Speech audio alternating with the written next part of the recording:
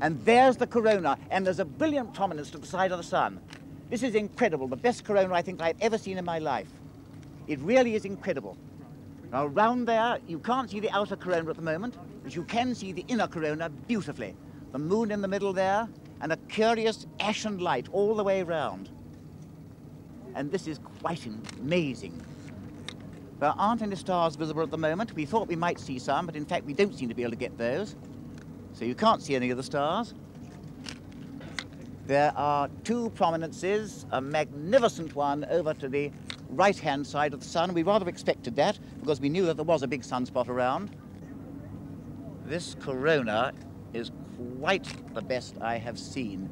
That prominence may, I think, be as good as the famous looped prominence that we was seen in the eclipse of 1918, so long ago.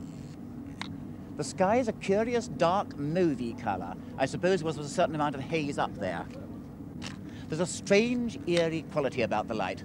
And of course, here on the Monte Umbe, everybody is working absolutely flat out because this six minutes is going to seem to flash by. And now I can see at the top of the sun another prominence. It's difficult to tell exactly what kind the corona is because there is a certain amount of cloud up there, but you can see that it's more or less symmetrical around the sun, so it's intermediate between what we call solar maximum and solar minimum types, which is really rather interesting. Those prominences are quite staggering, I may say.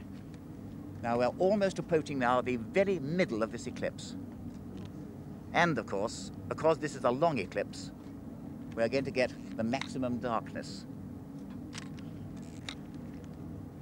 Round the sun now, I can just start to see the outer corona, which I didn't think we were going to see at all, frankly. Because we're now, since we're almost in the middle of the, since we're almost in the middle of totality, the sky is as dark as it's going to get.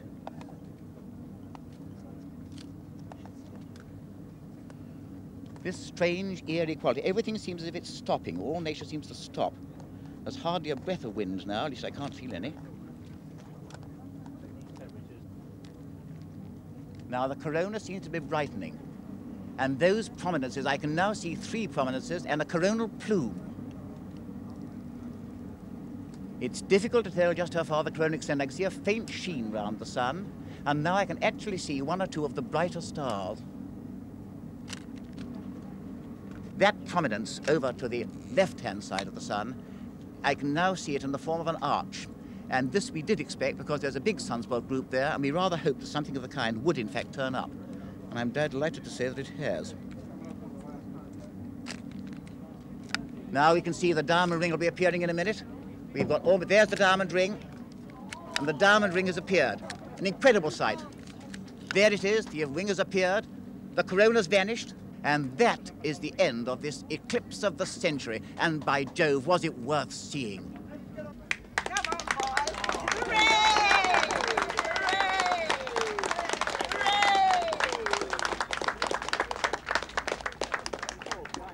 Well, that was a breathtaking sight.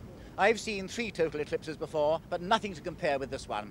Conditions weren't absolutely ideal because there was a certain amount of haze around, but nothing to spoil the beauty of the scene. Uh, the inner corona was magnificent. We couldn't see the outer parts, but in a way that enhanced the beauty of the brilliant inner corona. And there were some magnificent red prominences of a kind that I've never seen before.